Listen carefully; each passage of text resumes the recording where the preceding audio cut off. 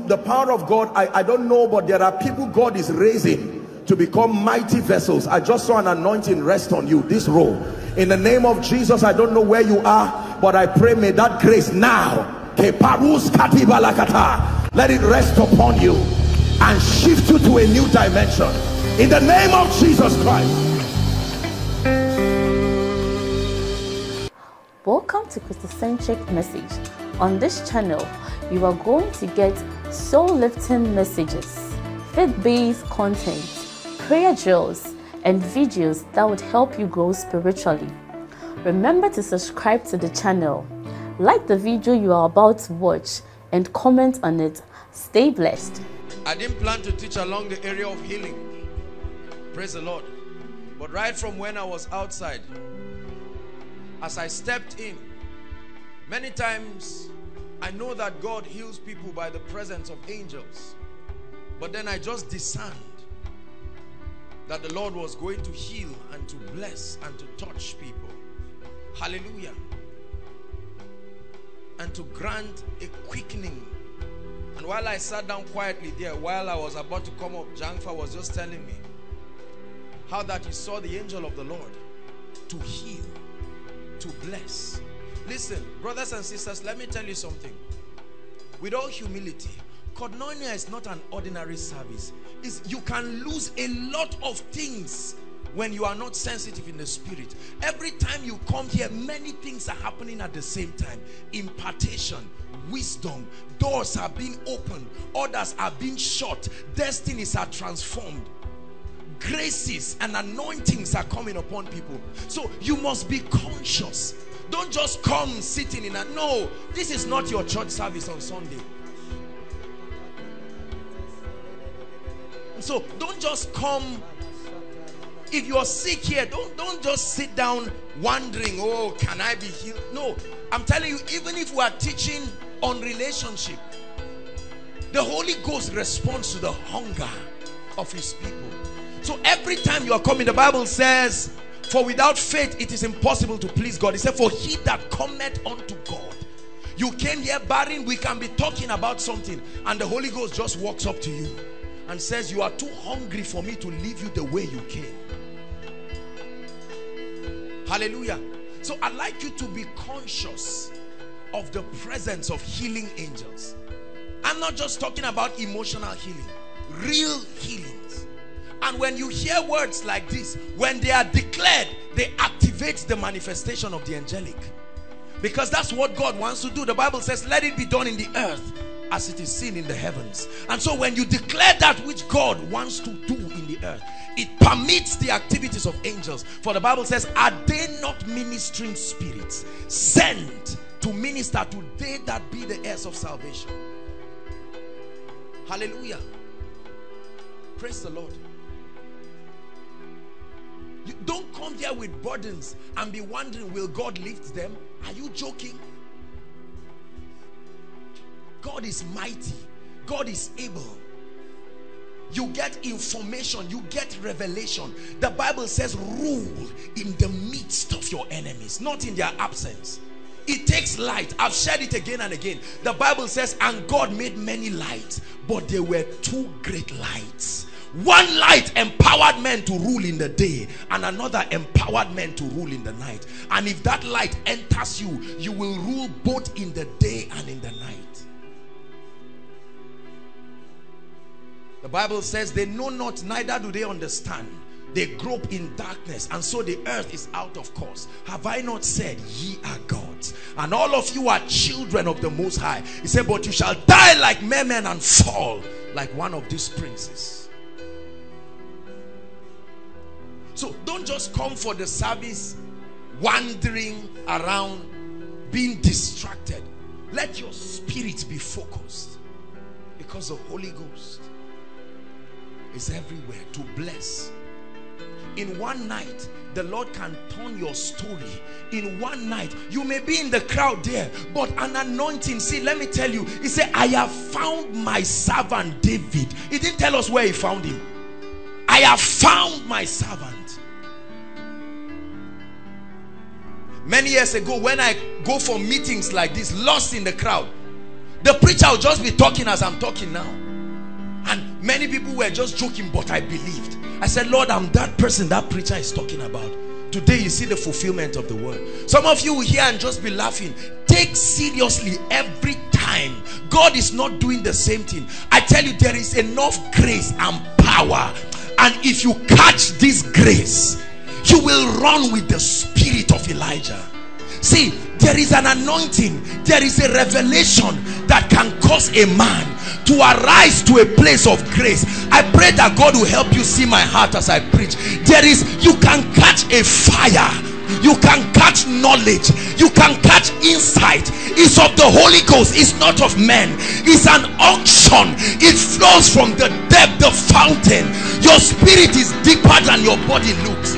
I tell you if you allow the life of god to touch that fountain no matter who you are no matter how weak you are he said weak men came to david to the cave of adullam they came to the cave. He produced warriors out of them.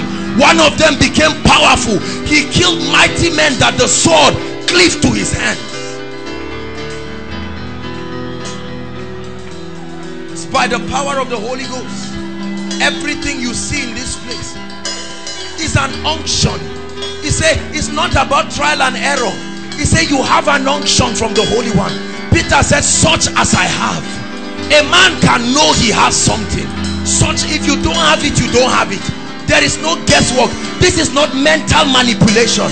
This is walking under an open heavens there is a dimension of walk with the spirit that you can have and this is what we seek for your spirit to contact.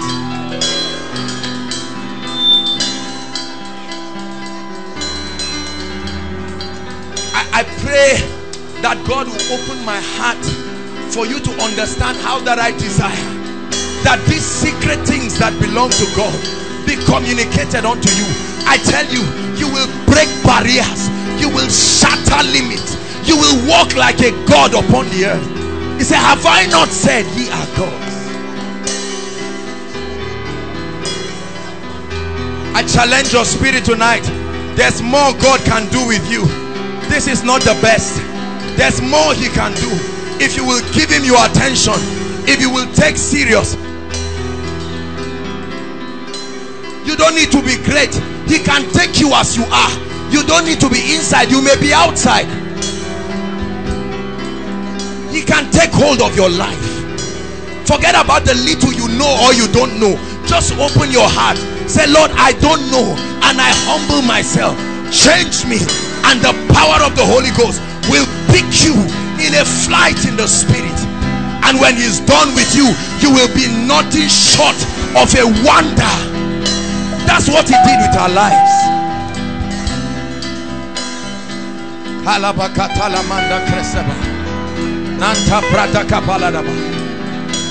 Lord let none of our services ever be ordinary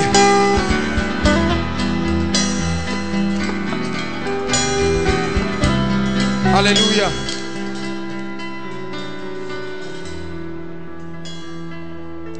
See brothers and sisters let me tell you something. If I had the opportunity to hear what many of you are hearing many years in my life I promise you I would have been 10 times greater than I am today. The Bible says they had the word just like we did if you don't receive the word and pay attention you will pay for it tomorrow. Every day it gets harder. The bible says in the days of samuel when the word of god was cast it will not always be at a platter of gold. A day will come you will have to trade a lot of things for it. Get it now. He said doth not wisdom cry? Crying in the city for as many who will desire her. He said get wisdom.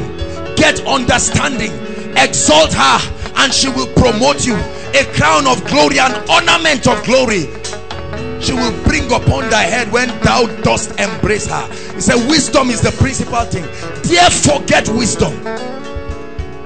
Said the labor of the fool wearieth him not because there is no way. He does not know the way to the city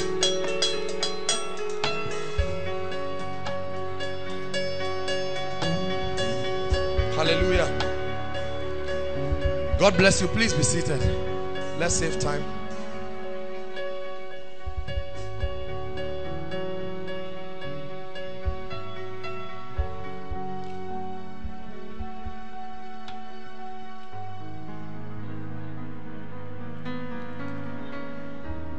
Hallelujah.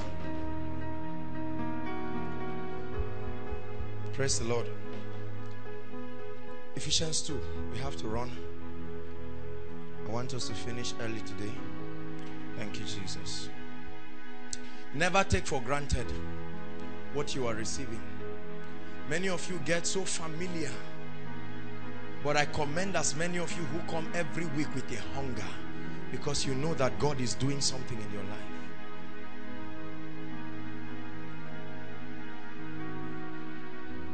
Thank you. One of the mysteries that will never stop amazing me is how God can turn an ordinary man into a sign and a wonder. Listen, brothers and sisters, if it were by qualification, some of us will not be in ministry. Hallelujah. But God knows how to take the foolish things and the basest of all things. That's what he's doing with your life. Hallelujah. If you if you don't study what God is doing in your life, you will not even notice you are growing. Hallelujah. And for many of you, you will get to a point in your life where you will not have the luxury to sit down like this again. The Bible says the angel tapped Elijah. He said, eat for the journey is far. He ate and he slept again. The angel tapped him. He said, you don't know how far you are going. Eat. And the Bible says when he ate, he went in the strength of that bread 40 days journey.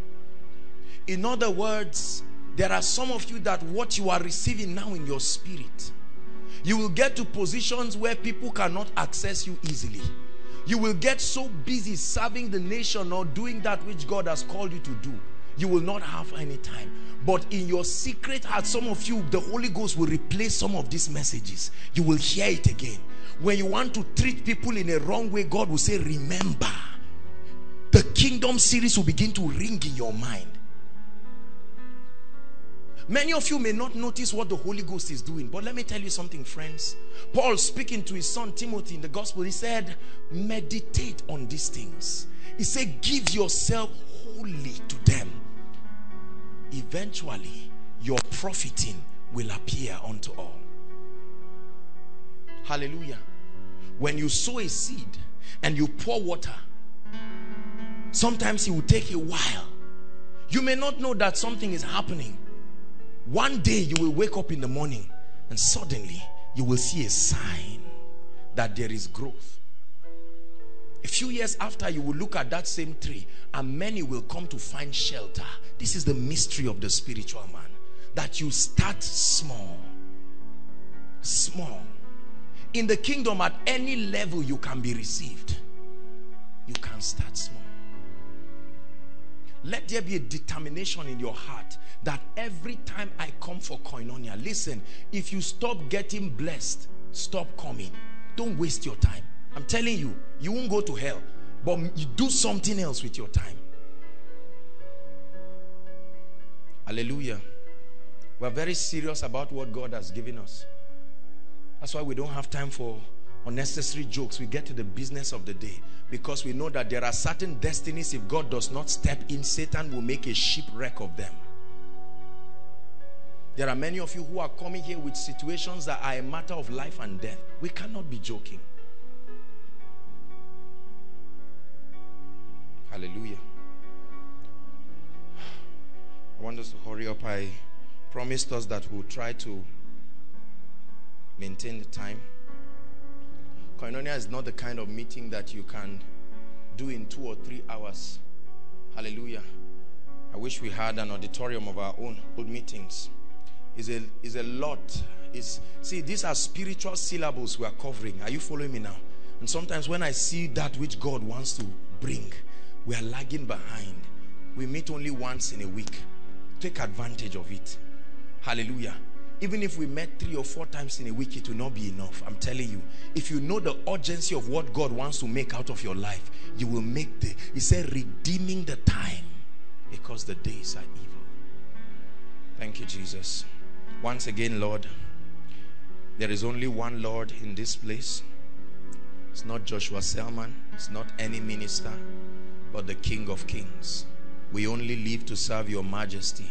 Let every pride be nailed to the cross. Let every tendency for vain glory be nailed to the cross. We are not ashamed to declare that we are your servants. Tonight, Lord, I pray that you move through me and bless your people. Our hearts are opened in the name of Jesus. Break every pride, break every flesh, break every tendency of the human spirit and soul to interrupt that which you want to do. Let your people be blessed in the name of Jesus. Ephesians 2:10 tonight I want you to listen very carefully. There are not many messages I tell people to listen to. But tonight's message will bless you. I'm sharing tonight on the price for a glorious destiny. The price for a glorious destiny. I know that we have one more one more session to cover for the full gospel series, but we'll take that another time. Be conscious of the presence of God as we minister. Ephesians 2, verse 10. Quickly, anybody? Thank you, Jesus. Have you wondered why? Please look up. Have you wondered why in life certain people emerge so victorious, glorious, with enviable destinies? Hallelujah. While others live as failures in life. Hallelujah. I've always wondered is it that God made some people failures? Is it that some people were destined to be failures? Hallelujah. While the world is celebrating the investments of God in others, other people just they are at the lower levels of life. They make no impact. They don't live out why they were born. Tonight, I pray that this message will challenge you in the name of the Lord Jesus Christ. The price for a glorious destiny. Write this down. The word destiny. Write destiny. Please make sure next time when you're coming, you hold something to write with. If you if your neighbor is not writing, you can help them, please. The paper, biro, just share with someone. Or if you have a phone, you can use your notepad or something. Or if you can just have it, no problem. You can get the teaching later. Destiny. Now, the word destiny is an interesting word. It means a predetermined future. Very simply. The word destiny means a future that has been predetermined. Hallelujah. A future that has been predetermined. Ephesians 2 verse 10. Anyone? Yes, please. Very loud. For we are his workmanship. For we are his workmanship. Created in Christ Jesus. Created in Christ Jesus. Unto good works. Unto good works. Which God had before ordained. Which God had before ordained. That we should walk That we should walk in them. Thank you, sir. He said, For we are what? His workmanship. We are his workmanship. Created in Christ Jesus. That we should walk unto good works to walk in a path that has been foreordained. He told Jeremiah in chapter 1, he said, Right from when you were in your mother's womb, I knew you, formed you, called you, ordained you to be a prophet unto the nations. Jeremiah 29 verse 11 says, For I the thoughts that I think towards you, said the Lord. He said, They are thoughts of good and not of evil to bring you to what? An expected end. That means I had an expectation. Hallelujah. Are you listening to me? So the word destiny, this is so important. The word destiny means a predetermined future. Predetermined by who? God. God. The Bible says we existed in God in eternity. Hallelujah. This is very, very important. Many people do not live to hear these kinds of teachings. And they become failures in life. They are being born again notwithstanding. i like you to say after me, I have a destiny. Say it. Say, I have a destiny. Say it confidently. I have a destiny. Say, I was born for a reason.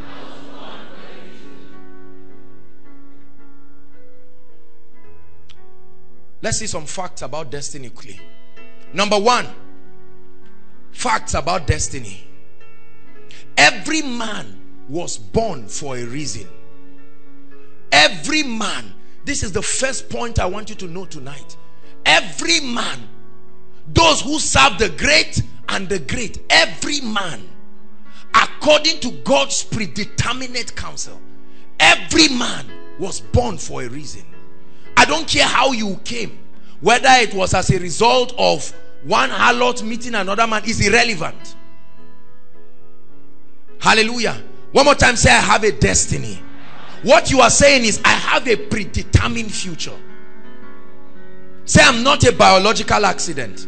I know many of you are used to. Just say it. We are going on a journey tonight. Every man was born for a reason. Your purpose for existence is the problem you were created to solve. The solution that God put in you to reveal to your world.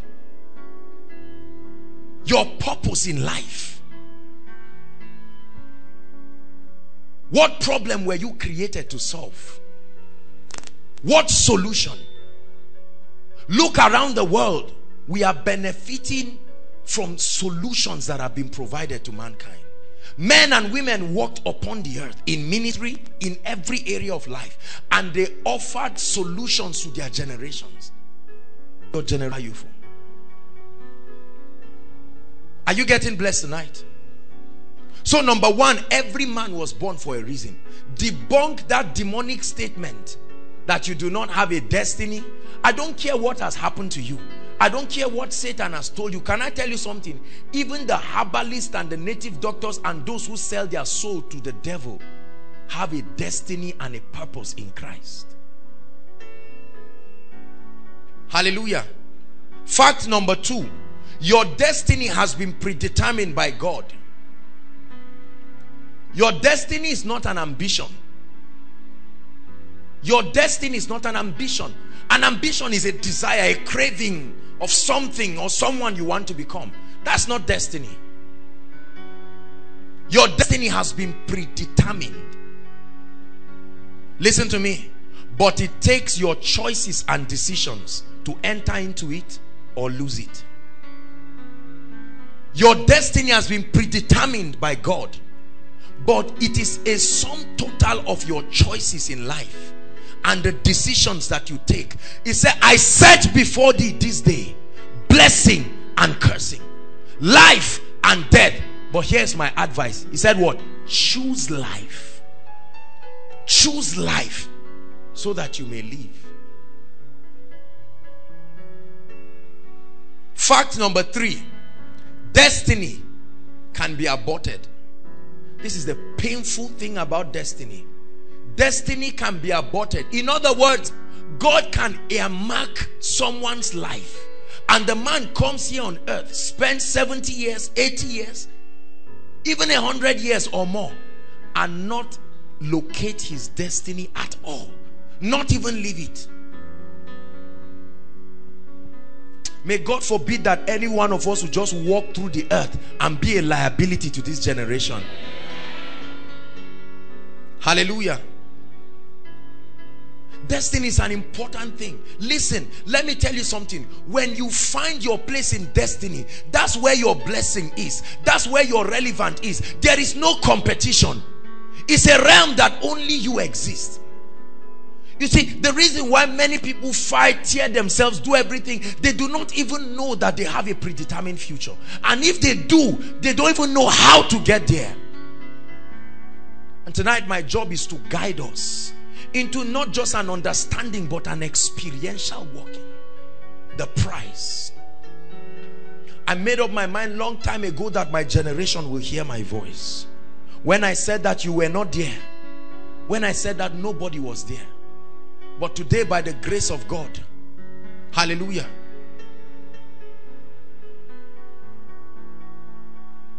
When you hear certain names, Billy Graham, Dr. Myles Munroe, Mike Murdock, Bishop Oyedepo, Obama,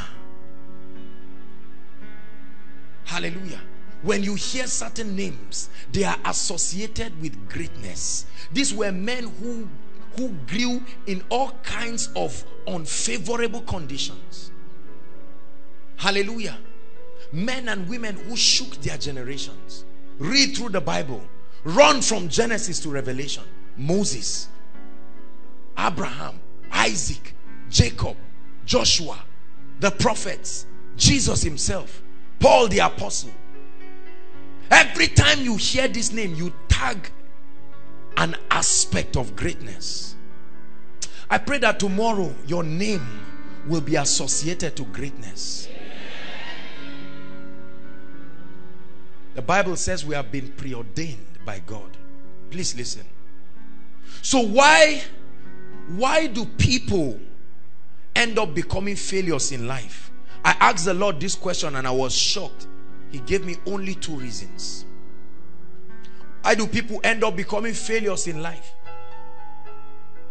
Someone who was destined to be a great apostle, a great prophet, a great teacher, a great evangelist.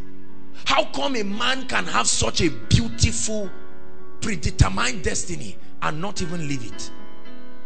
Do you realize that there was a prophetic grace upon Jacob? He never used it, he never walked with it. It was until he was at the point of death he began to bless his children and you hear the prophecy that came out of him this was this was a grace and an unction that he would have used in his youth hmm.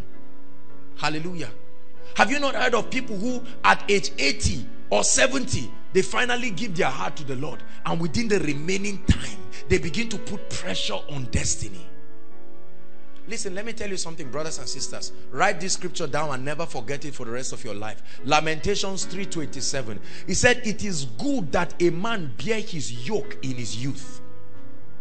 It is good that a man bear his yoke. In other words, the Bible says the glory of the young man is his strength. Pay the price now.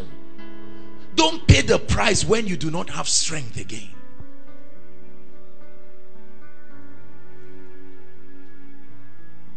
Why people, including Christians, end up becoming failures in life. Number one, I want you to listen with an open heart. Number one, excuses. Please write it quickly and look up because I want to talk about it. Excuses. This is the number one reason why many people become failures in life and I don't want you to be victims of that. Excuses. We live in a world where many people, many people believe that their success depends on others and not themselves. Hallelujah. There are many angry people around the world in Africa, in Nigeria, giving all kinds of ridiculous excuses. Why God cannot use them? Excuses why they are drinking and smoking. Excuses why their lives are the way they are. Excuses. Not taking responsibility for their lives. Let me show you an interesting scripture. Proverbs 20 verse 4. Proverbs 20 verse 4. Let's hurry up. I want this I want this word to enter your spirit tonight. Proverbs 20 verse 4. Anyone? Yes, sir. 20 verse 4. The sluggard will not plow by reason of the cold. He said the sluggard will not plow the land. Why? What is his excuse? He said there is cold. Therefore shall he beg in harvest. Therefore shall he beg in harvest. And have nothing. And have nothing. This is talking about um, fruitfulness, but this applies to every area of life. He said the sluggard will refuse to plow the land. What is his excuse? Help me please. There is cold. There are so many people who have given useless excuses why they are the way they are. And in Nigeria, we have so many of these people. A lot of youths are angry with the government. and say in America, once you are 18, they give you money. And now they are saying, if they were helping me, my life would have changed. And because of that, you move on being a failure in life. And when they ask you why, this is your excuse. Are you listening to me? There are many people that have given all kinds of excuses. My father is an irresponsible man. If my father was as responsible as other people, do you think I'll be where I am? Now that you know, what are you doing about it? Hallelujah. I used to live a bad life sleeping around. Now that you know, what are you doing about it? Are you following me now? There are so many people. It's easy to pass the blame of your life to other people. There are many of us still holding our parents, fathers, mothers, and different people. My father caused me, that's why I'm not moving. Oh, you are aware. Have you taken any step? What are you doing about it? Are you listening to me, please? I came from a polygamous family. They didn't treat me well. It's not a lie. But what are you doing about it? Are you going to allow your destiny to be at the mercy of all kinds of excuses? Jesus came from Nazareth. Hallelujah. An innocent child. Suddenly Herod finds him to kill him. He would have gotten angry and said, Father, please take me back. Look at this nonsense. I'm coming to help people who are sinners. And you are not even encouraging my journey. You want to kill me is amazing. Ask many people why they are not advancing in life. They will start crying and they will start telling you stories of yesteryears. There was a guy when I was four years old, the guy abused me, and that's the reason why every time I see men or women, I, I have an, an uncontrolled desire. My brother, my sister, how many years or decades has that been? What are you doing about it? Are you listening to me? Someone insulted me and told me I'll never be anything. So every time people talk to me, and now we have all kinds of psychological teachings that encourage us to live in that realm.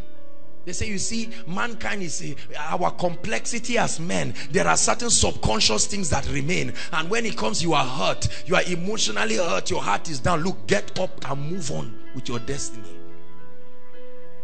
You know, some of us get into situations and we give excuses. Wait until you hear the story of someone and the things they survive to come out. You will see that you have no excuse. For Solomon told us that there is nothing that has happened in the earth that is happening for the first time.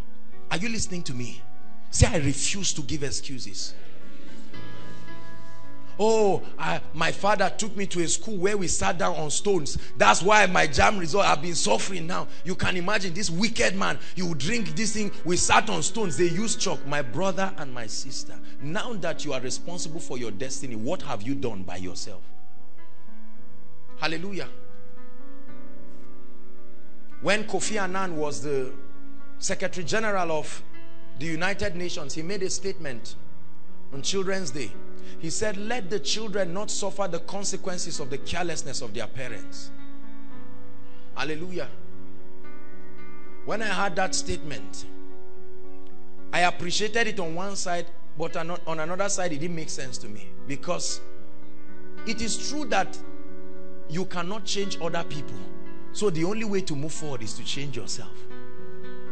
Are you listening to me? Excuses. Several people give excuses. Oh, my father was this. See, let me tell you something. I'm not saying your excuses are not legitimate. They are. But for as long as you allow Satan to keep bringing that as a reason, you will remain there forever. There are people in this place who lost their loved ones, lost their fathers, their mothers when they were growing up. There are several people who were under some hostile environments. There are several of you who were involved in witchcraft and divination. It's not your fault. You grew up into it. Hallelujah. My father's mother was a traditional worshiper. Am I?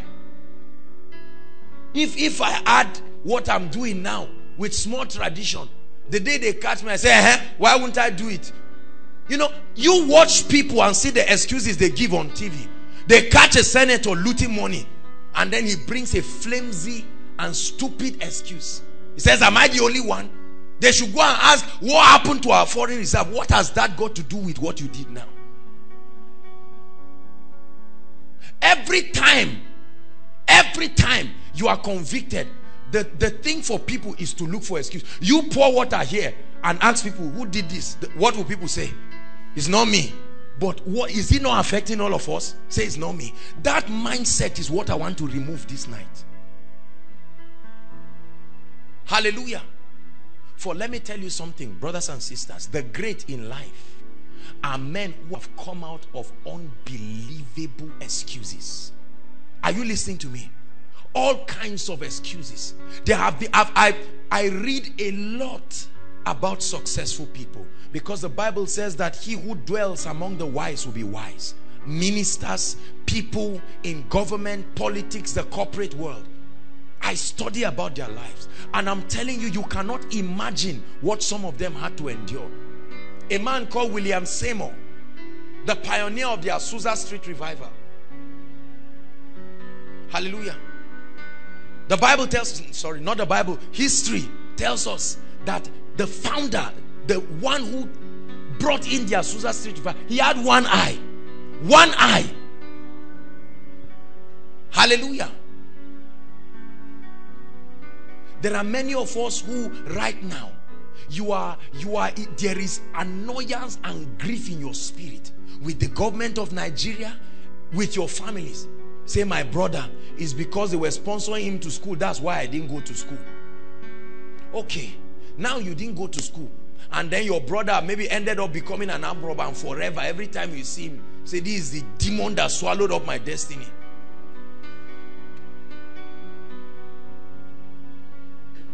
People give all kinds of excuses. The bible says go to the ants you sluggard and learn a very powerful lesson they take about 50 times their weight. They have never given excuse and say god why didn't you increase our size? Seeing that we are this hardworking. They are able to coordinate themselves. Listen brothers and sisters if you do not stop giving excuses in your life i promise you you will live a life of bitterness and regret. You will initiate your children. You watch some people in the television and see how your parents frown at them say ah mr h. Then they just he said ah daddy what happened? Say this guy i remember how many years the guy has gone for they are interviewing him in, on tv the guy is happy. Your father is here. You are saying okay so how about our own life? Say are you not hearing what i'm saying? Know you just add you just pass the anger to people. There are people who are perpetually angry. You ask them why why should i be happy are you not seeing what is going on in the world can you imagine obama he doesn't know you you are dying there Goodluck, Jonathan. God punish him. He didn't hear it. Listen, I'm telling you something. Get out of this thing. The VC of ABU, stupid man. He doesn't know you. You are not living in his house. You see the house he's living in. You are there angry. Oh, this my stupid lecturer. God will punish him. Yet, the semester just started. You are going to see him as many times. And you can't drive him away. Listen, let me tell you something if you don't stop while you are laughing i hope you are getting this this is a very serious issue hallelujah excuses the bible do you know the bible says he gave unto men matthew 25 five talent two talent and what one what was the excuse of the last one he said i know you are a hard man so that was his observation all through that period while his other colleagues were making use of destiny he was there saying i know you are a hard man you like reaping where you did so There are many of us who are here with our destiny. Say, I cannot speak English. If God only made me finer than I am now, God, you said you didn't try. Eh? What is the meaning of all this nonsense? Oh God, if I had done this, if only I could speak like that guy. If only I could write. God, if you just, if you had given me this guy's charisma, what the books I would have written by now. You think the people were born like that? See, what you do not know is that every successful man started somewhere. We are used to studying people's results, not their history. Hallelujah. So you see a man drops outside with a Jeep Lincoln and say, sand youths moving for the advocacy of employment. What is that? And they gather themselves, they fight over secretary, they fight over something, and they write a petition. They say, We want to see the presidency. And you want to do. They get there and say, Sir, on behalf of the youth in Nigeria, we're speaking. Why are there no jobs? Ways of living. You are just hoping that one day your father will just call you and say, Now, son, I've waited all these years to tell you that there's one secret inheritance that I've kept because you watched it in the Nigerian film. Now your father is getting older. You didn't hear anything. You didn't hear anything. Later, your father will call you and say, Oh boy, do and get out of my household. Oh. Then it dawns on you that there's really nothing for you. Then you start getting bitter. The Bible says children are, are supposed to enjoy inheritance from the parents. Now that it didn't happen, what are you doing about it? You are there grumbling, writing books and articles, petitioning your parents. See, let me tell you something. I want you to make a determination tonight that you're going to take hold of your destiny. Are you listening to me? You can't cry forever. You've got to brace up, wipe your tears and move. Yes, the man slept with you when you were growing up. Yes, all kinds of things happened. Your uncle abused you. Yes, this and that happened. Yes, somebody broke your heart. Yes, somebody did this. Yes, the brother came into your life and swore heaven and hell and told you Greek and Hebrew and Aramaic and left you. Yes, this and that happened. But what are you going to do today? Are you listening to me? Many people give excuses. Oh, it's cold, so you won't plow the land. You just ask people why they're. I have not sampled 12 people, ask them why they are in this level of life. Only about one in those 12 will take responsibility and to take any. And most of the people who make that decision are usually bad, bad drunkards and the rest. You go and ask drunkards and smokers, they'll open up. They'll tell you truly, oh, I'm responsible for where I am now. But go and ask Christians. Didn't I pray that day? Even my seed I gave. I'm, I'm watching God. The day will come when I will. You can imagine. I brought someone to Koinonia. Now see the person growing. Doors are opening. God, let me tell you, if you are not going to do this, I will backslide. I will do this and that. And they ask you, they say, okay, why are you not consistent with God now? You say, when, when it doesn't solve my problem, won't I go? Who is suffering? Tonight is the night when you open up yourself and say, Listen, I don't care from where I'm starting, but I will not end there. Are you listening to me? Say, In the name of Jesus, I will not end where I am. Say it like you believe it, inside and outside. In the name of Jesus, I will not end where I am. There's more about my life. I'm telling you, believe it. You wait and hear the stories of all kinds of people, the and the things that they went through. People who trusted God at deathbeds, others even died and came back to life and made up their minds. Hallelujah. There are people today. Look at the man Job. If there's anybody who should be discouraged about destiny, should be a man, Job. He got to a point in one day, your children dead, cattle dead, everything dead. And then boils grow on your body again to the point that dogs come and they are licking it. Imagine your father sitting naked using ashes. The Bible said he sat upon ashes. This was somebody who was talked about. Yet Job said, Though he slay me, yet will I praise him. The wife said, Job, I love you. We had all these children with you, and right now I must tell you that I'm tired. Job said, Why are you speaking like one of these foolish women? And the Bible says, at the end of his life, he refused excuses. Can I tell you something?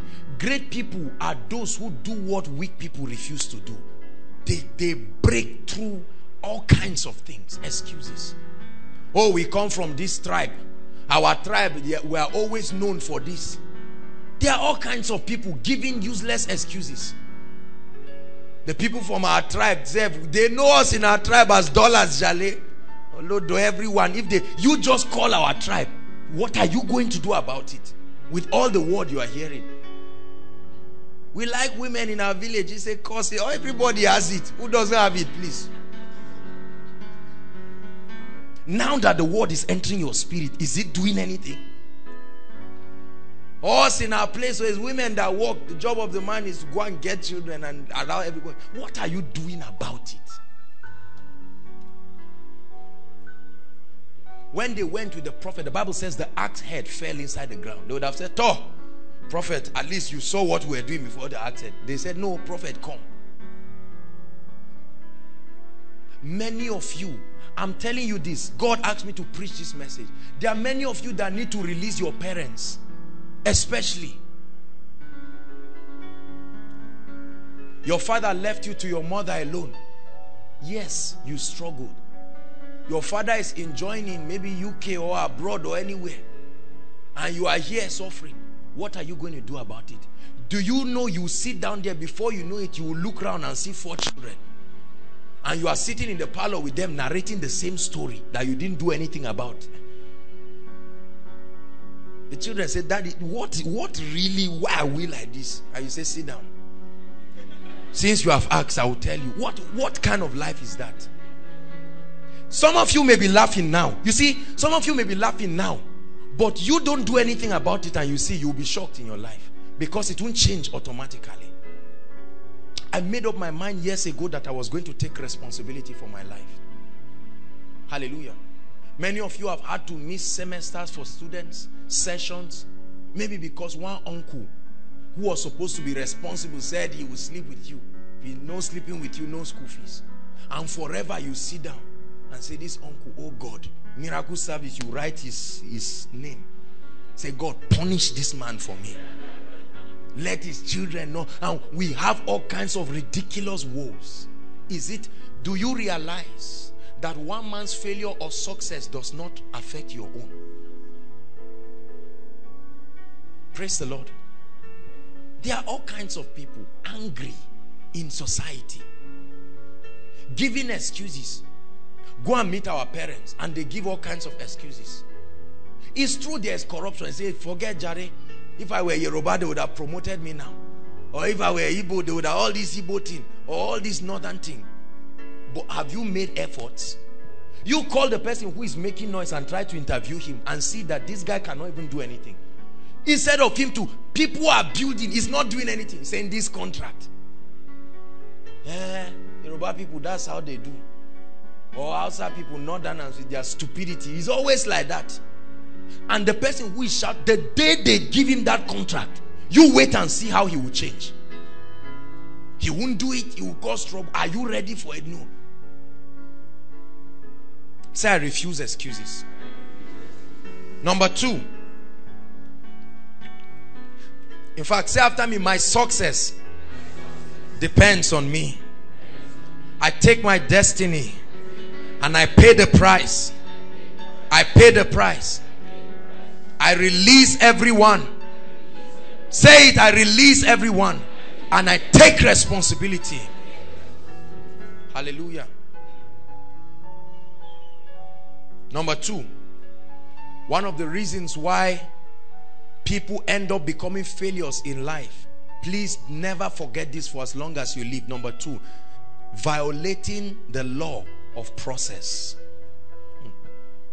Violating the law of process. You just write it, I'll explain it. Look at one scripture quickly. Mark 4:28. Someone help us read. We have to hurry up. Mark 4:28. Are you receiving something tonight? Is God speaking to someone? There are some of you, your brothers are 35 years, 40 years. They are still at home. True or false? You ask them why. They will see your father, they will hit themselves. The day your father talked, they'll say, See, let me tell you something. When I was 26 years, remember this. Now you are 40. You marry and still carry the wife to your father's house and say, Is this house will stay? The day you give me land, I will pack out. Can you imagine? the, you wait and see how do you know most of family fighting is on inheritance is that true the father left land and they'll say this land we'll kill ourselves on this land you will see three generations fighting over the land that their great grandfather who was a king gave them they don't do anything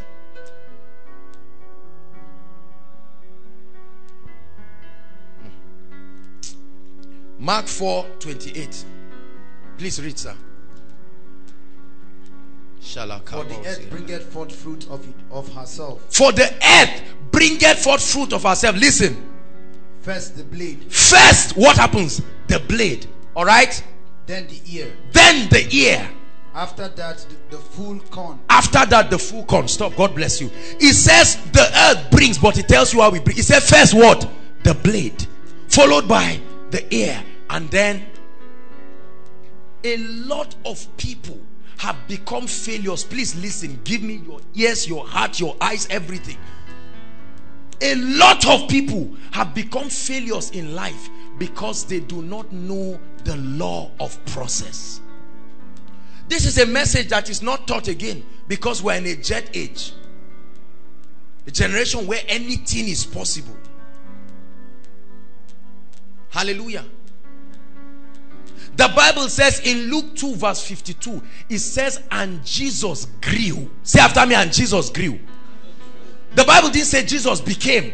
And Jesus grew in wisdom, in stature, and in favor with God.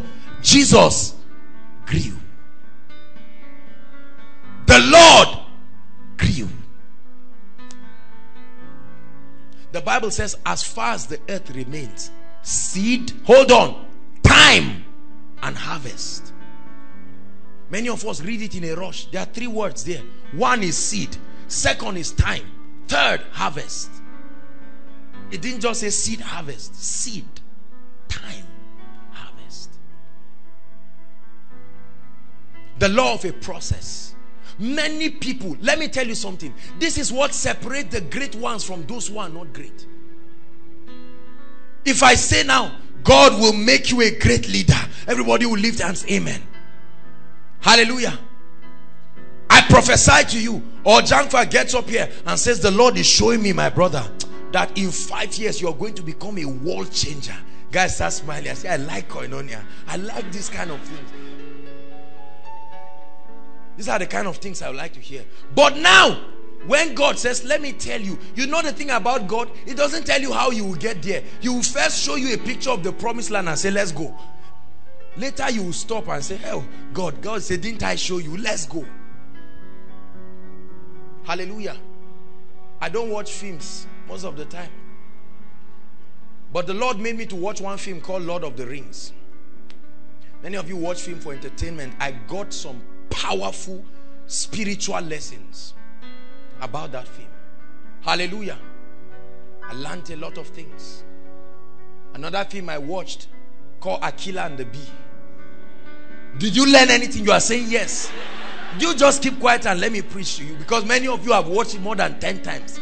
You can say everything, but you can't bring the moral lesson. Hallelujah. Someone who grew with no advantage whatsoever and became a world changer.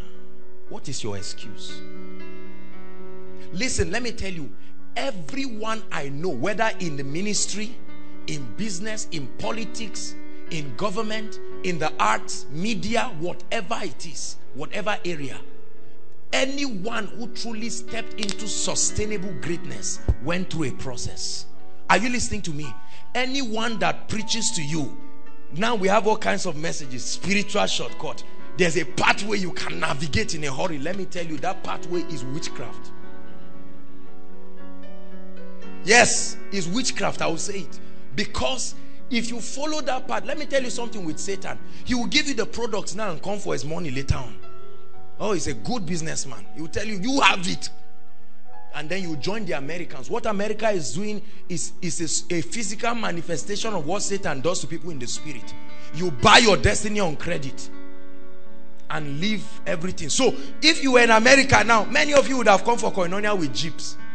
Once you are 18 years, they give you money. You build house on credit, marry a wife on credit, divorce her on credit,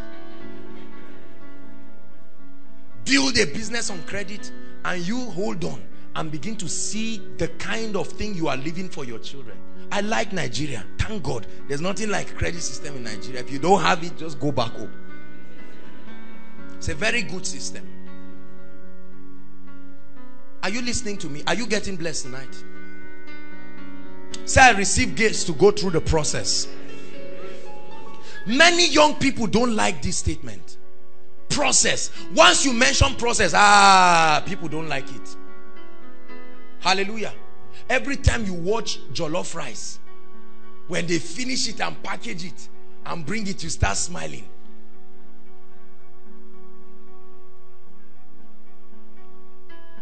Every time we're about to eat the food that our welfare people prepared for us, sometimes I look and I just imagine, how did they do this? How did they do all of that? How the processes.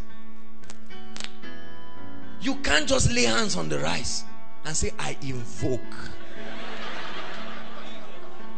By an ability of the spirit, hey, let this thing become rice. It doesn't work that way.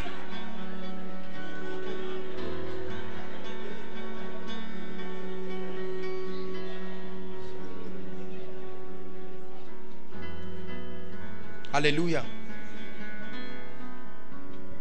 Because that's what many people are doing. Some of you are doing it as you are laughing. It may not be for rice, but you are doing it for your destiny. You are sitting down and hoping. That's why many of you like teachings on favor. You are hoping. Yeah. I will enter houses I didn't build. I will marry wife I didn't ask out. I will have children I didn't. Get out of that illusion this night in the mighty name of Jesus Christ.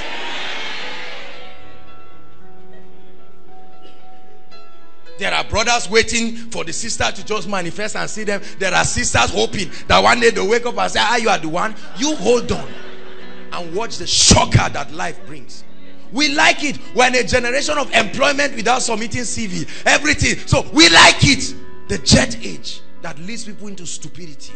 There is something called the law of process.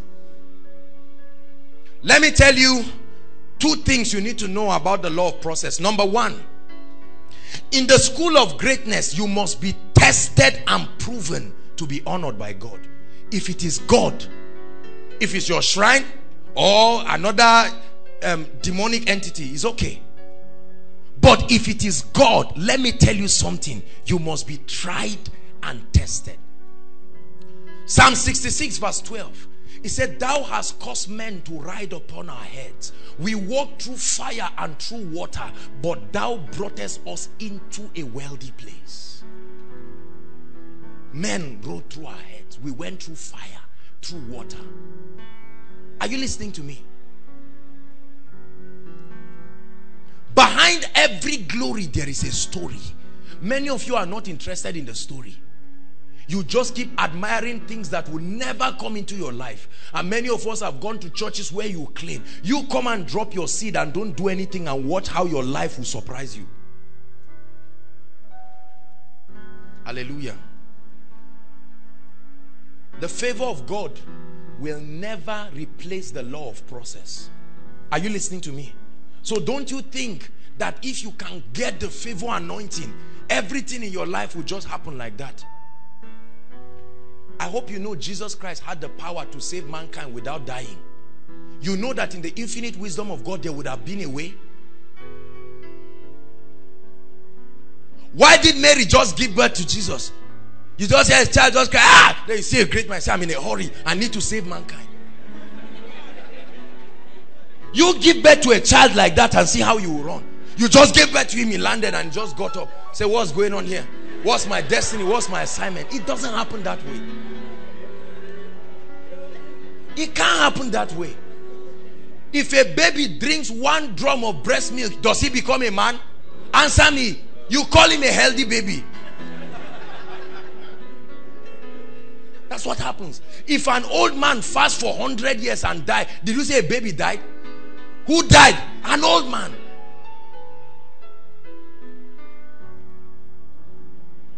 The law of process has cheated many people, violating this law, running into realms that you have not gotten into. It takes time for true success to manifest. Write it. It takes time.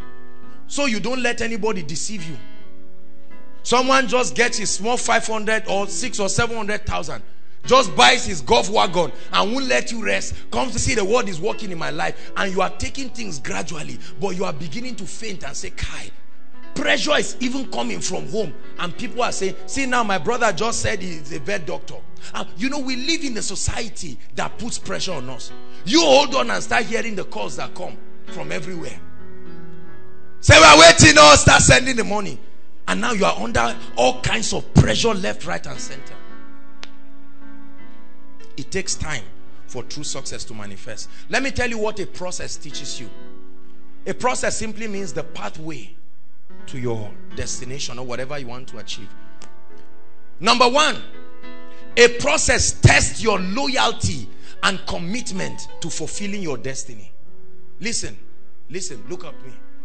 A process will test whether you are really interested in fulfilling destiny or not. Oh God, use me. Hallelujah. And somebody just somebody just said, uh, sorry, I'm hungry. And God tells you the 500 naira in your pocket, that's all you have home and abroad. God will say, give the person. Say, God, the Bible says, you are telling God, oh, the Bible says, love your neighbor as yourself, not better than yourself. And you are looking at God. And then you say you want to be a minister. Oh God, give me crowd like Koinonia. You hold on. When you go through the process, at the end of it, you know whether you want it or not. Process tests your loyalty. Let me tell you something. If you survive a process, you deserve the result. Are you listening to me? Many people don't survive it. I was listening to an interview by Uebert Angel. Many people say you are an exceptional prophet. You are a celebrity. He said, I'm, said, I'm persecuted. How can I be the celebrated? You go online and see all kinds of things about him. But many people will see and say, I want that level of grace. See, uneasy lies the head that wears the crown. Don't, don't allow success bait you too quick. Let the process of God screen your true desire. Success tests loyalty. Hallelujah.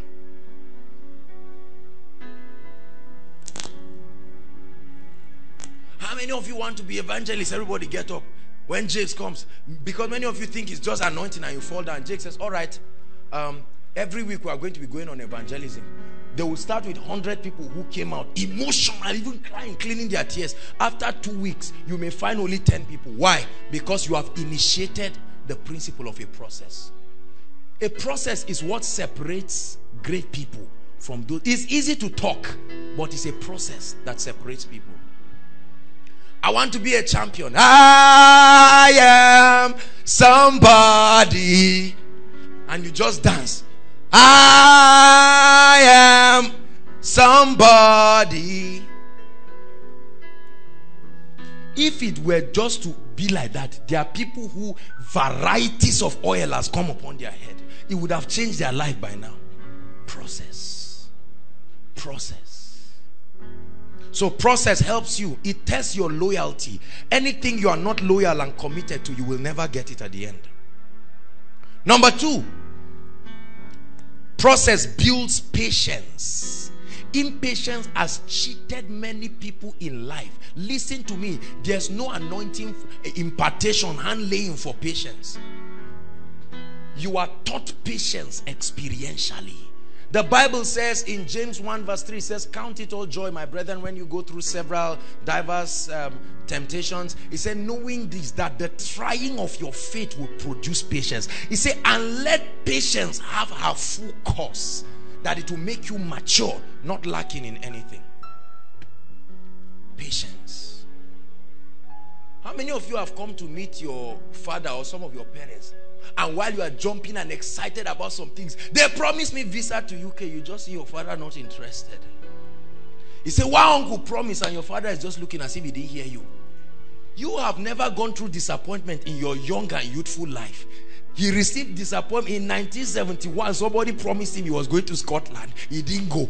It happened again in 1970. He has gone through too much things. It has helped him to be patient. You are coming happy, oh, and they prophesied this, you oh. know.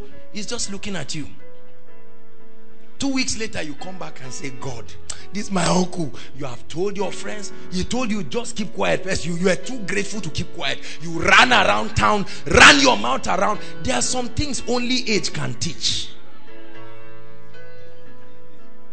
When you see your father keep quiet, he said they promoted me, but you just wait, let him manifest. Say, what is that? Don't hide good things. After you receive disappointments for a number of times, you become grounded initiated into patience experientially. Hallelujah. Your car was not good. They say, let's fix it. Say, no, let's go. Are you joking? The world is working. They say, let's fix this thing. It can cause trouble on the road. You say, ah. Daniel said this, this in the Bible. This, this said this. Then you are going. You stop and sleep on the road that night. You call unto the God of Israel. You pray and sing. Listen to koinonia tapes. Nothing happens. The next day, when you see a zealous apostle saying, let's go. You see, is the car working? If it's not working, say, hold on. It's not lack of faith. You are you say, I can wait. I'm not in a hurry.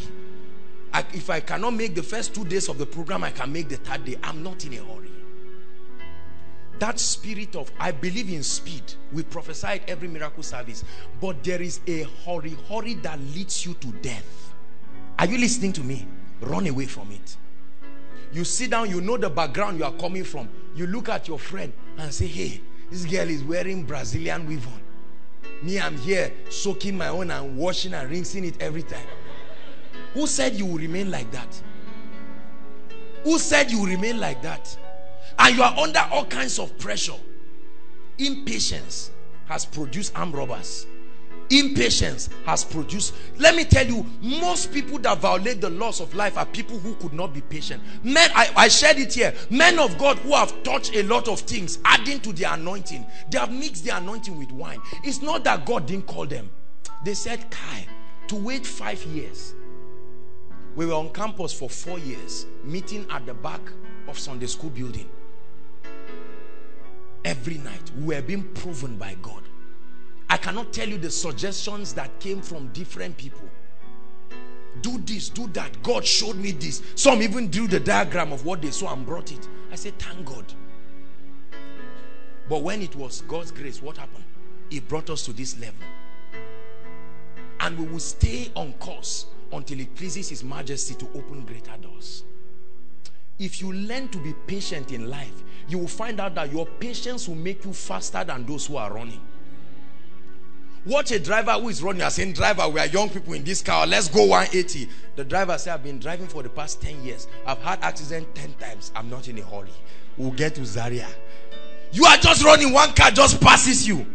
Later on, you see people picking out the legs here, the head of the person here, and you now say, oh dear God, this would have been us. Patience. God can wait. God can wait. God is not in a hurry the way many people teach. God can wait. Let's hurry up. Number three, a process helps you to appreciate success and to honor successful people.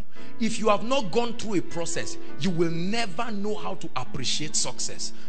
Many of you take certain things that God bring to your life for granted until you go through certain processes. When you come out, can I tell you something? As I grow in ministry every day, I cultivate a deep respect for the fathers of faith who have gone ahead.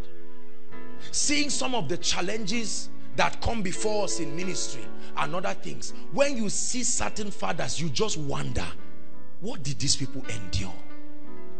You hear about some of them who had churches and God asked them to leave and go to Lagos and they slept under bridge for months before they got their parishes. And so you just think. See, I learned this from Dr. Mike Murdock. Celebrate greatness when you enter its presence. Don't pretend there is no greatness there. Are you listening to me? When you enter it, I shared it in, in when we we're doing the teaching on the law of honor. Whenever you see greatness, don't pretend this is not greatness Celebrate greatness when you enter its presence. Because the great are those who have endured what you could not endure. They went through things where you gave up, they continued. The film Lord of the Rings again. Among the many scenes in that film, there was one scene that I will never forget. Remember when a gentleman called Sam, he wasn't the one holding the ring. Are you listening to me? But Frodo, the ring bearer, got tired and he said something. He said, I may not be able to carry the ring, but I can carry you.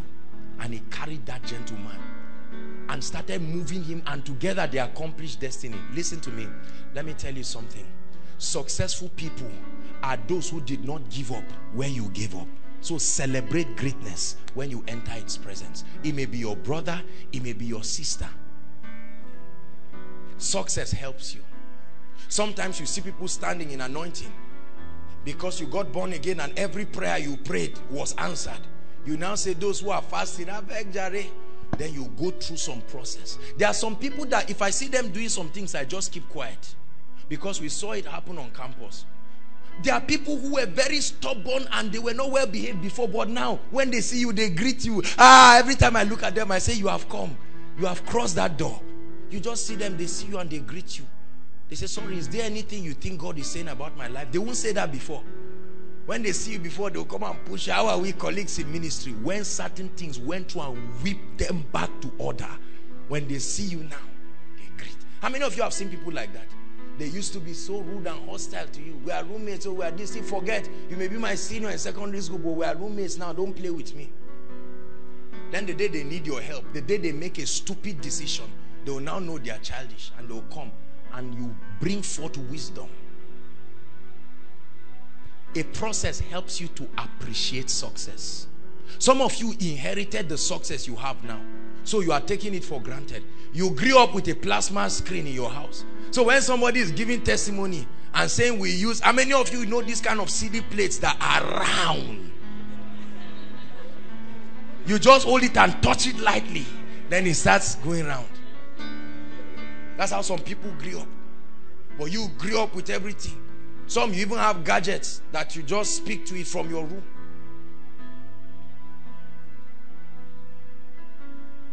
We grew up and my parents, my younger sister is here. We had one Beetle, green Beetle.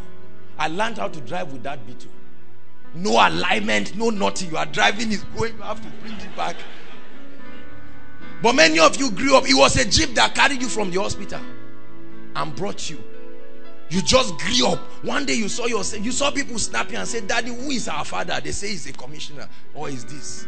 So you don't know how to appreciate success. You trivialize a lot of things. You insult your cook and say, You mean this is the food you cooked? And then sometimes, after you go through certain processes, you come back with a depth of wisdom. Every time you see success, you appreciate it. Hallelujah. Number four, process creates a memory that helps you sustain success when it comes. Listen, this is very important. The Bible says the prosperity of fools will destroy them. Can I tell you why God, no matter how you pray and fast, there are some realms you must grow into. You will never jump into them. You know why? Because there are certain memories you need to sustain success. Are you listening to me? Look up, please. There are many of you here. You don't know what it means to be charismatic and to be a celebrity. It can be demonic. Are you listening to me? You get to a point where men can almost worship you. At that point, you need the memory of the wilderness to sustain you. Because you can get to a point in your life, people cannot even talk to you. They can't access your office. They can't do everything. That's why today, every time I stand, you see, when I sit down here, you people see me close my eyes sometimes. I just remember. I say, God, God of Israel to see where God took us and brought us by grace. A process creates memory. Are you listening to me? When you were taking pap and cocoa, you buy cocoa 20 naira, yam 10 naira. The remaining 10 naira, they should put pap, half cup when you are taking. And now, the moment you see delicacies, you will remember. The Bible says, Thou shalt remember So while you are enjoying in the palace, that's why David danced. He danced before God. And Saul's daughter was saying, don't embarrass us. He said, I'm dancing before God who collected the kingdom from your father and gave to me. People who do not, you see why many politicians are reckless overspending because they did not go through a process. Hallelujah. Somebody had 50,000 home and abroad in his account. You jumped into an office and you saw accounts linked to your office with no name. They were not tied to your name, they were tied to the office. You award a contract of 10 million and somebody just brings a, a car of, of 2 million naira. Say, I just said you should use it and stroll. When you want to buy a recharge card, just with it. You say, what for? Many people jump into success and destiny. That's why they are short-lived. No matter what kind of prayer you pray, if it is success that comes from God, I assure you, that door of process, you must pass through it. Fast, pray, cry, you must pass through it. There are some cups in life that are not meant to pass. You must drink it. Peter said, I will drink the cup. He didn't even wait to hear what Jesus was saying. And he truly drank it. And some cups are big. So and you must drink everything inside. I was told of a man, just a story, a fiction story, I believe, that he went to heaven, was come complaining and say, God, which kind of useless cross are you giving me to carry like this? I'm seeing people laughing. I'm the only ones frowning in the world. Then that he went to heaven and they led him into a room. There were all kinds of crosses, different weights and sizes. And the Lord said, oh yeah, go and pick one by yourself so that it won't be me. He saw one small one, very small. He just went and carried. And the Lord said, but that's the same thing. You just, you just carried what you are complaining. That's the one you were carrying on earth. The guy said, you mean there are some people carrying this one? He said, and they are happy on earth. From that day, he came back with a mindset. Process. We have taught people in church that process is as a result of lack of faith or demonism or all, all, all, all kinds of things. It's not true. Do you know David was anointed king, sir? But when he was anointed king, where did he run to? Back to the wilderness. He was anointed king. He was not anointed shepherd. But he went back to the wilderness. And what happened? He grew into the throne. Hallelujah. He was, he played strings for the king. He became his armor bearer. Then he became king. I won't deceive you, brothers and sisters. There are many of you that are running too fast in life and you are, you are soon going to have a head-on collision with disappointment. You need to pipe down, come to yourself and take life gradually. I ask some people, I say, what's your financial budget? What do you want to make per year? And they mention one stupid and ridiculous and childish figure. Whether it's, it's 10 billion or something, they say they want to be getting per month. I said, starting from now, I say, yes.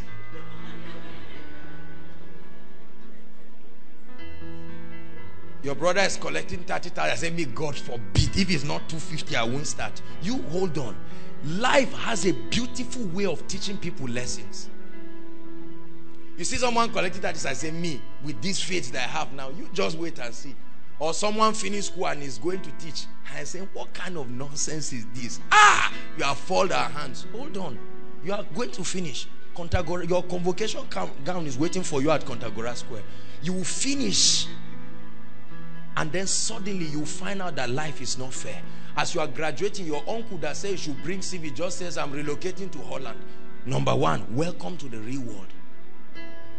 Then your father says now I've been waiting to tell you this. You're of age. Please go and find a bus quarters or whatever. Just get out of my presence. A process helps you. It sustains an experience. How many of you have seen very wealthy people live simple lives and you are surprised. You say if it's me that had this money. Because you don't never covet a man's result if you don't want his history. Never. Never covet a man's result. That's why reading books i like reading books about people's history not just their results. Hallelujah. They talk about johnson suleman apostle johnson suleman a great man Many people see him today. Do you know that this guy, I hear, was one who was cleaning the shoes of Idahosa and doing a lot of things. Jamfa was telling me how that there was a time someone fell down when Idahosa was around. fell down in the presence of Johnson Suleman and broke his head into two. Idahosa held the two heads and joined it back. He was watching process. Today you see him shouting and speaking and you just say, Lord, that dimension, I give myself a span of three months. Wait and see the demons that will lead you there.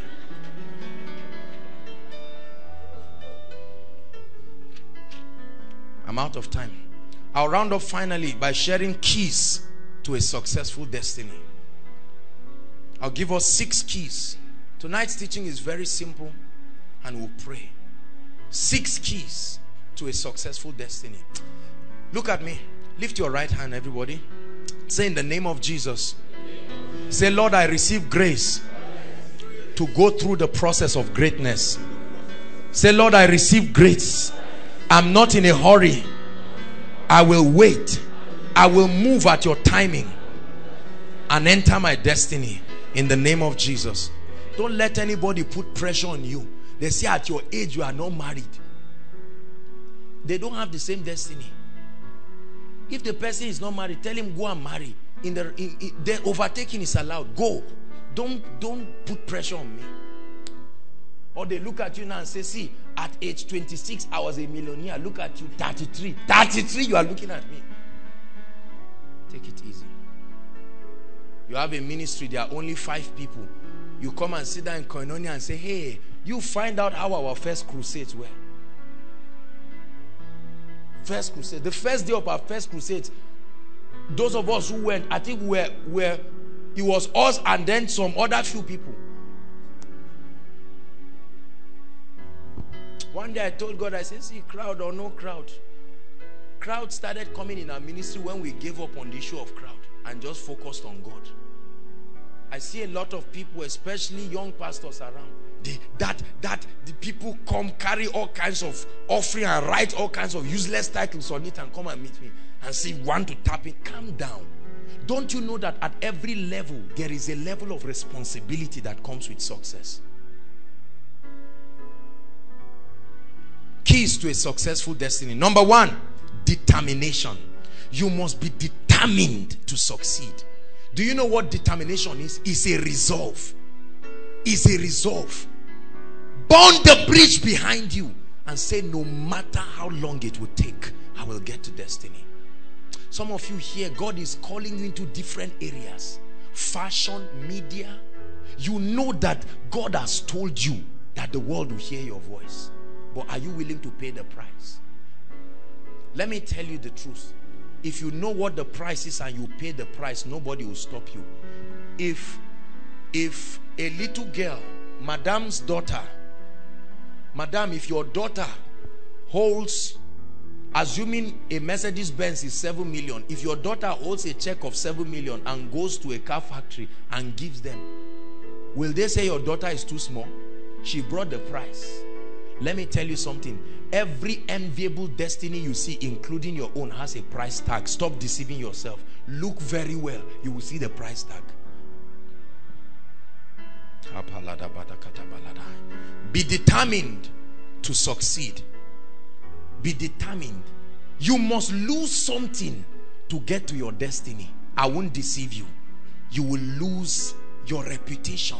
You will lose some sacrifices. You may lose your weight. You may lose a lot of things because you will have to fast and pray. You will lose a lot of things. You'll be wearing two shirts and one trouser. You wash it in the night and wear it in the morning. But you are buying books. No problem. A day will come you will not need to buy things again for the rest of your life because you have created an impact. A time will come in my life I am convinced if I buy clothes is my choice. A time will come in my life if I buy cars. Oyedepo said they give him cars every day. Where were the people when he was driving his Beetle to go and hear what God was asking him about? They will come eventually. Be determined. Say in the name of Jesus, I'm determined to succeed. Say it in the name of Jesus.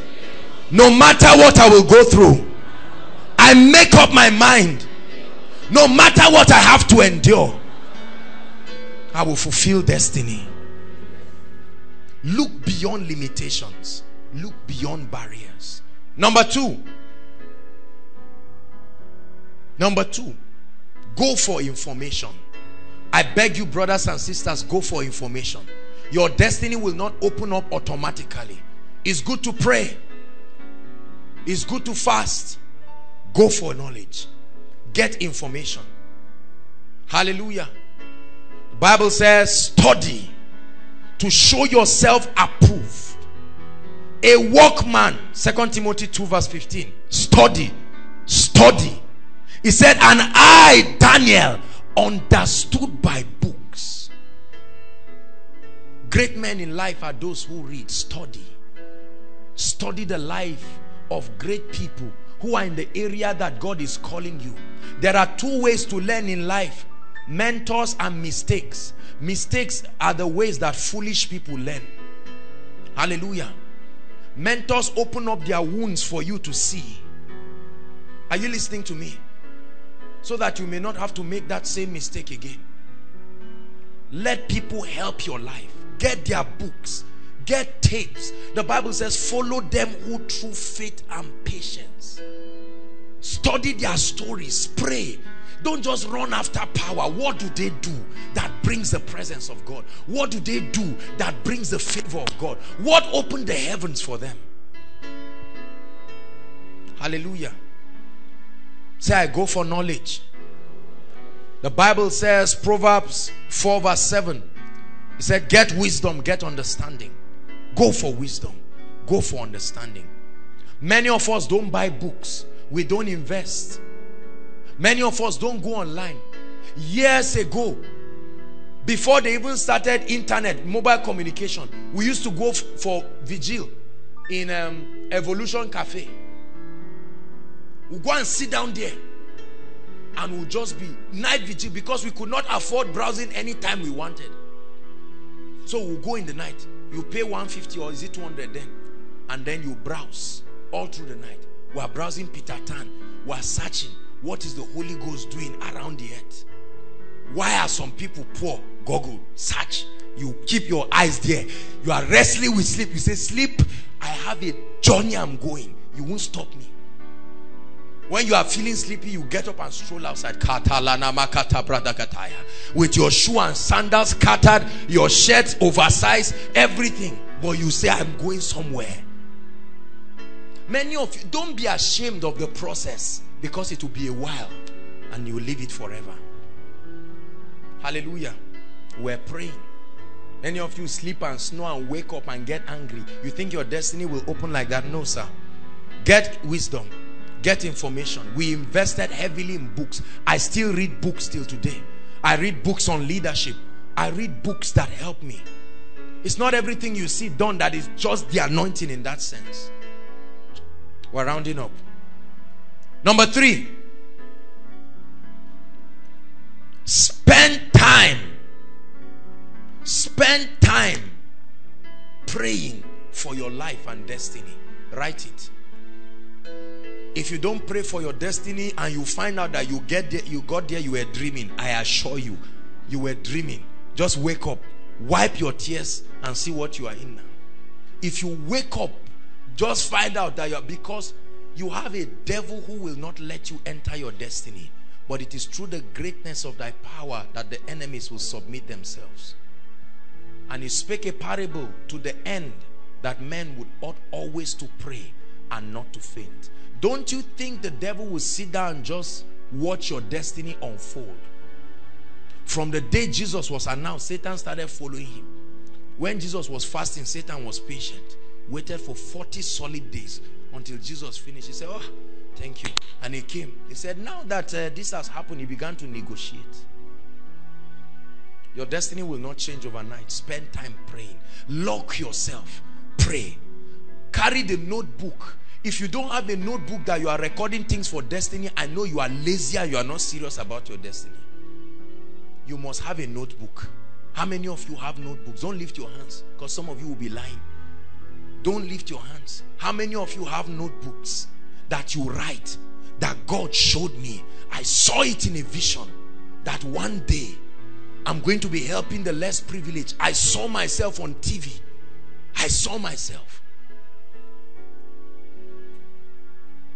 I saw myself beyond my geographical location. I saw myself.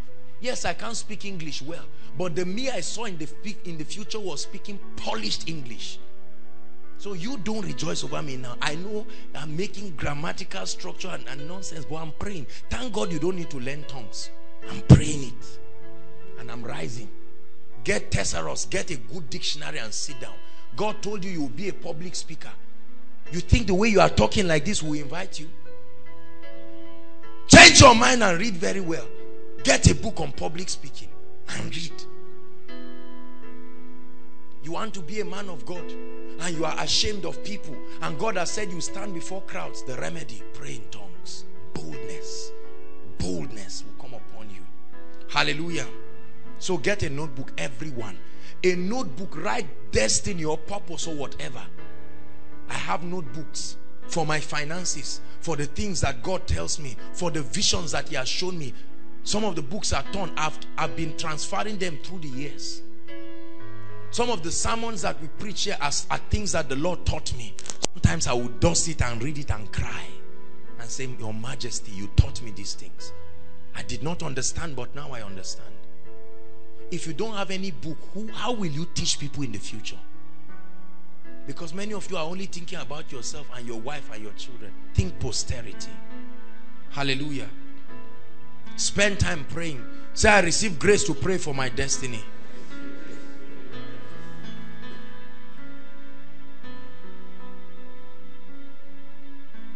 Be disciplined. Be disciplined and focused. Isaiah 50 verse 7 he said I have set my eyes like a flint. You must be focused in life. Many of you are too distracted. You are doing everything. You are in every group. You are in every association. You are in everything. Where are you going? I'm going. Where small time now you carry one girl or one guy add to the, the trouble you are creating you are going where are we going how many of you have climbed bike and you told the bike, you called the name of the place, he didn't even hear. He said, Yes, I know. And now you are going. Later you tell him, Ah, do you know the place? He said, Kai, I the last time I came here, he doesn't know where he's going. When you don't know where you are going and you carry other people, there's an accident that is going to happen. For sure. Be disciplined. If God has called you to ministry, for instance, you've got to be disciplined.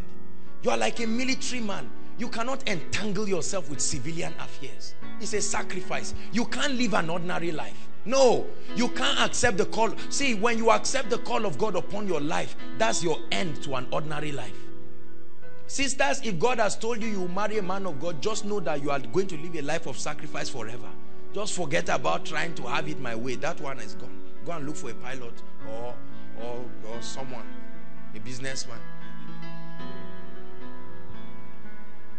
God has called you. What's your name, sir? Eh? Philip, please stand up, sir. God has called you, for instance, all right? And no, keep standing. And said, Philip, tomorrow you are going to own banks, for instance. And now God has spoken to you. And now Philip is not doing anything. He just says, Prophet so, so, so. So every time he sees him on TV, he said, That's the guy. He spoke about my destiny. He said it 10 years ago. 10 years later, nothing, no movement in the realm of the spirit because it will not happen automatically. Please sit down. What has God told you? What are you doing about it? When I knew the call of God was upon my life, I started reading books. I have books about ethics of ministry. I have books about church planting, discipline, focus. Now is not the time for visiting everybody. That day will come. But now is not the time. Some of you are always visiting and running around. You go and meet your friends, tell lies, tell lies, tell lies. You are lying and they are listening to you. You are just telling lies. You don't even know when you have tied yourself in. They are just looking at you. You are lying. What you say you didn't do in the gist later, you said you did it. And then they remind you and say, Oh, sorry, I didn't do this. Those things are unnecessary. Settle down with your destiny. The Bible says, in the multitude of many words, many useless words, sin. What is the sin for what? Lying. You say things that didn't happen, create your film there, act it, the people are watching you. Be composed. Listen, I'm telling you, package yourself like a leader. You can't just do everything. Hallelujah. Be disciplined. You are saying God is going to bless you and you stand before nations. You are just moving outside. You just buy popcorn. You just cry, oh, you are pretty. Some even small. You pick it and drop. You won't go far that way. I assure you, you won't go pray in tongues. You won't go far that way. You must be disciplined.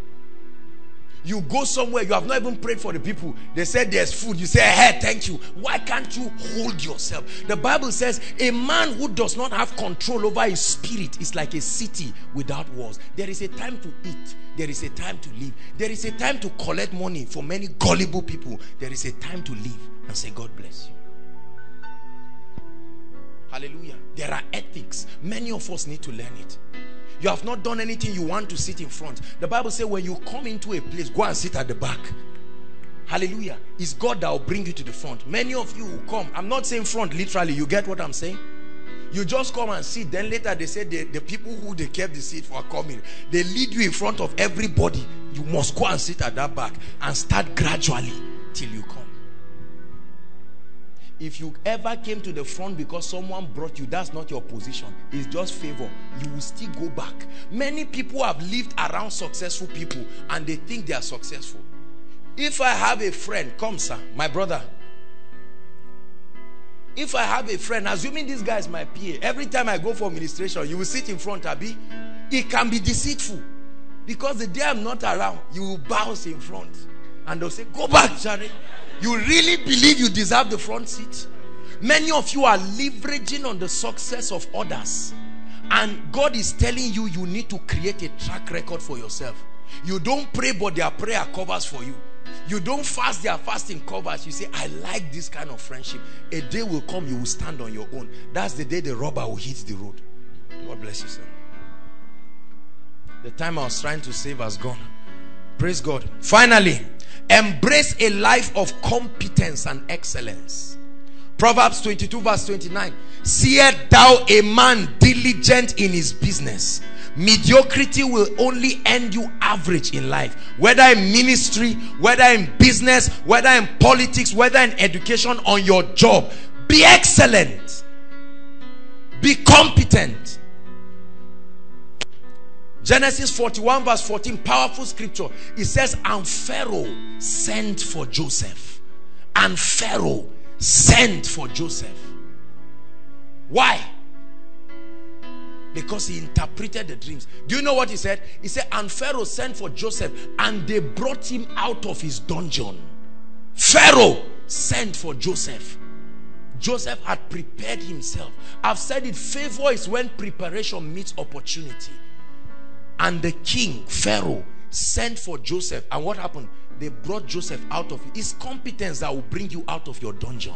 Many of you are in some dungeons you inherited. If you remain there, you will remain there. You will give birth there. Hallelujah. I have a destiny in Christ. And I vowed to my generation that I will pay the debt that I owe this generation. I'm speaking to champions right now. Look at me. We're going to pray. Many of you are sitting. You are hearing the voice of God through what I'm saying. You need to rise up tonight. Don't just feel emotional about it. And tell yourself, I've heard this word. And I'm going to run with it. Outside, some of you may be outside. Nobody is seeing you. You are just there. I want you to know that destiny is calling. Vow to yourself that I won't fail. That you won't allow anybody Go back and find out what am I on earth here for? Cry unto God. If you don't know why you are living, you will keep escorting everybody in destiny. And you will get old and find out that all you were doing was to be escorting others.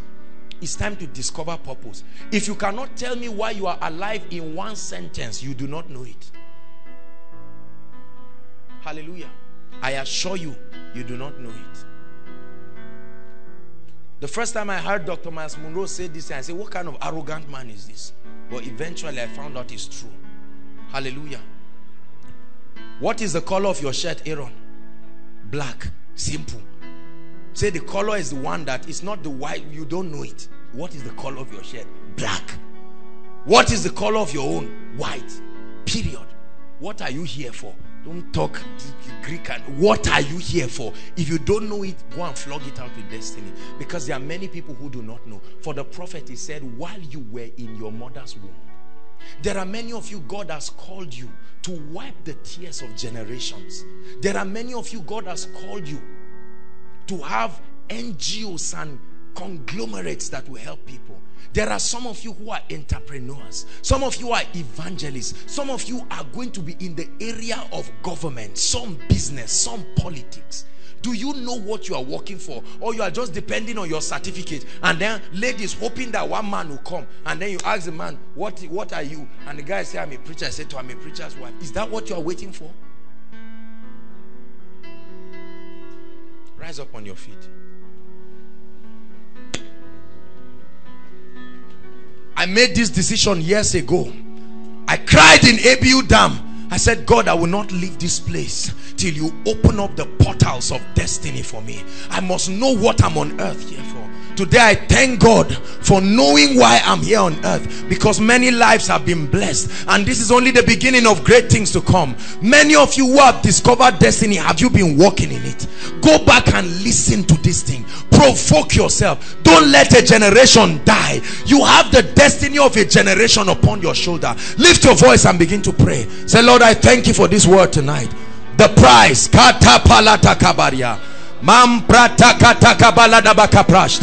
My generation will hear my voice in the name that is above all names. Jesus was born in a manger. No one saw him except a few people. When he was about going to heaven, a crowd was there watching him. You came to this earth. Only a few nurses and doctors saw you. Who is it that will see your life and say, thank God that he came and lived? I was watching a documentary of Archbishop Benson Idahosa and they wrote, they said he came, he saw and he conquered. Can that be your testimony? Lift your voice and begin to pray. That will be my testimony in this life. That a young man came, he saw, he shook the sands of time. I will shake my generation with the power of God. I will shake my generation with the life of God. I will bring sinners to the saving knowledge of God. We will go to nations. I tell you I've been saying this thing for years. Lift your voice and pray. We are rounding up. Pray. The Holy Ghost is here. Say I'm not ordinary.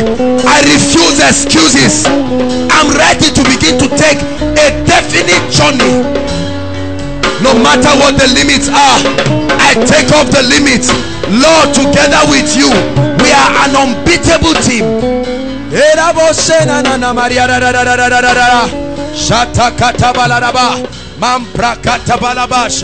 You are the prayer point of someone on the way to happen. Someone has been praying. The bible says the earnest expectation of creation waited for the manifestation of the sons of god. Don't say i am weak don't say I am small. Don't say I am local. No. Take off the limits. Nigeria will hear voice. Pray it. Africa will hear my voice. In the name that is above every other name. I will take the word of the Lord, the counsel of the Lord. I will stand before nobles. I will stand before royalties and they will hear the wisdom of the Lord. Nothing will stop me. I'm an inferno of fire going by the power of the Holy Ghost. No devil born in hell can stop me. Pray. Say, I will build that hospital by the power of the Holy Ghost. I will build that airport. I will build that bank by the power of the Holy Ghost. I will be that kingdom financier. Pray. Say, I will be that prophet. I will be that apostle. It does not yet appear, but the mantle is on you. I tell you, rise, great one. Hear the voice of the Lord. I speak to you, almighty man of valor, almighty woman of valor. Just walk with God. He will make a wonder. No matter what your disadvantages are. Yes, you are not in school yet. That's not an excuse. You cannot speak English. You lost your parents. You've not gotten a job. You are not married yet. You don't have children yet. That's not an excuse. Make up your mind. I go through the process. Pray. Say, Lord, I pay the price. The price of diligence. The price of prayer. The price of fastings. I go for knowledge. I pay the price. I pay the price for financial prosperity. I pay the price for the anointing. I pay the price for the influence of the Spirit. I pay the price of diligence. Hallelujah. Hallelujah. There are many of you. You're already paying your price in school right now. Avoid that laziness. If you are a student, don't live as if you have graduated. Stop that fake and useless life. You are paying a price. You may sow garri, drink it honorably. You may have one shirt, wear it honorably. Once upon a time, we could not afford these things. But today, by grace, He has helped us. You will remain that way. So don't behave as if you remain that way. Don't try to look for things around you to define you. Be proud of where you are. Start it honorably. You may not have food to eat, but you can pray and say, Lord, I know this is only for a while. A day will come, I will feed nations. In one minute, say, Lord, hold my hands and let's walk to destiny. Hold my hands. Hold my hands. Strengthen my hands, oh God. Lift your voice and cry. For it's a year of supernatural exploits. Lord, hold my hands. Hold my hands through challenges where I want to give up, oh God. He said, and when my heart is overwhelmed, lead me to the rock that is higher than I. Say, Lord, tonight I make a vow and a commitment. If I perish, I perish, but I must leave destiny. If I perish, no going back. I burn the bridge behind me. There may be sufferings for a while. There may be constraints for a while. You will give up a lot of things for a while. But it's not compared, I tell you, it's not compared to that glorious destiny, that enviable destiny. The shepherd boy became a king. Hallelujah. Hallelujah. Yes. Now, very quickly, you are in this place. The journey starts with Jesus Christ. There are many of you who love the Lord, and God brought you here. Tonight is a real destiny encounter. God took you from wherever and brought you here. Inside and outside, you are hearing my voice, and the Spirit of the Lord is telling you you need to make it right with God. You've been a Christian, but you've never really made a commitment for the Lord Jesus Christ. Or you've been born again, but you've just derailed from the path of God. There is love in this place. No one condemns you. It's time for a fresh start. There's no point delaying. Destiny is calling. I'm telling you, many of you will hear this voice echo your spirit. Hallelujah. I'm going to invite you right now. Leave your seat inside and outside. Those who want to make a fresh start and you're saying, Lord, I surrender totally. Hold my hands and let's begin this part of destiny. I give my life to Christ. Oh Lord, I come back restored. Leave your seat and come out here quickly. Quickly, the Lord is talking to some people inside and outside. The Spirit of God is talking to you. Appreciate them, they are coming. Appreciate them, they are coming. Keep clapping, the Lord is bringing them. No matter how bad it is, I'm telling you, no matter how bad it is, start a real journey. Mean it from your heart. Outside, the Lord is calling you. Outside, the Lord is calling you. Keep coming. Keep coming. Begin a journey of destiny. Keep coming. Don't sit down there while the Lord is talking to you. Don't be ashamed of your friend. You need Jesus Christ. He's the fountain of life. It all starts with Him. It all starts with Him. He said, Come unto me, all ye that are weary and heavy laden, and I will give you rest. Keep coming. The Holy Ghost is still speaking to men and women. There's no point sitting back. Brothers and sisters, there's no point. This is an opportunity. You may be beautiful, you may be handsome, but let your destiny look like you. Keep coming. God is speaking. Don't assume. It's an opportunity for destiny. You've never made a decision for Jesus. Even if you have a Christian name, it won't take you to heaven. Hallelujah. Hallelujah. Thank you so much, brothers and sisters, for coming out here. Some of you are coming out to make Jesus Lord of your life. You're saying, Lord, it's over. I'll stop struggling. The Bible says, in the day that you hear his voice, harden not your heart. For some of you, you have given your heart to the Lord, but you want to make a genuine commitment. No matter how many times you have made it, don't be disappointed with yourself. We are here to love you.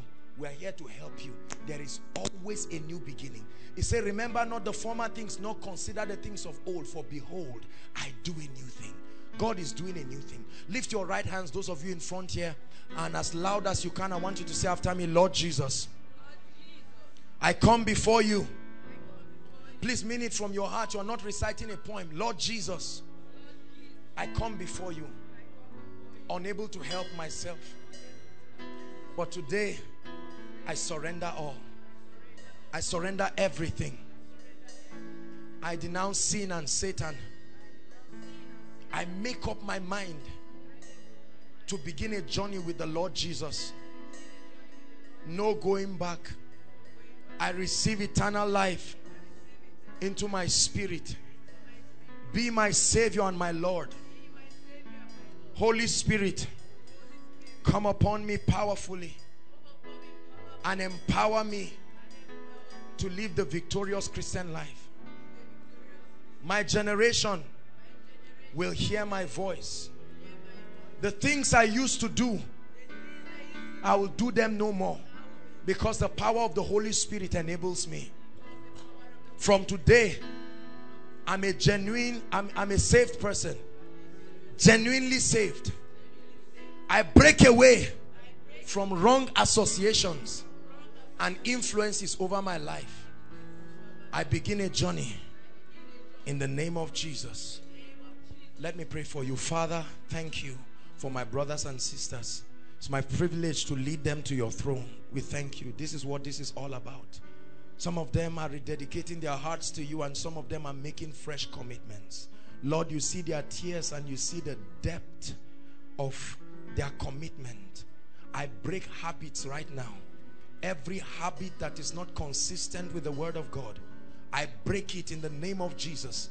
I command you to be delivered from every stronghold that has brought you here by the power of the Holy Ghost.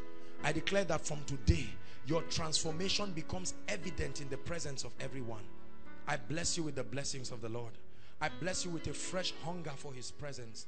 I bless you with a fresh hunger for prayer. I declare that you will never be the same in the name of Jesus, I pray.